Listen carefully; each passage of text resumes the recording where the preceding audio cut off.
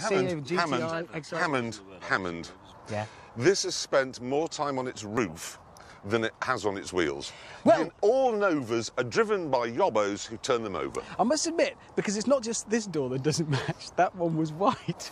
I don't think there's a ditch in Essex that this hasn't visited, but it's still working. These are very desirable. Are they? How much was it? 700 quid. Not that anyone ever actually had to buy a Vauxhall Nova. It was much easier to steal one. But nobody's to watch this if you're a car thief. Don't watch this. You have the keys. I have the keys. What I'm going to do is remove the hazard warning light switch, okay?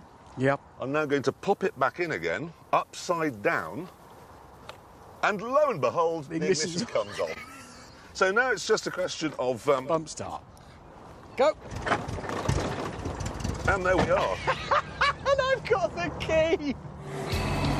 As I was finishing my demonstration, I received a message.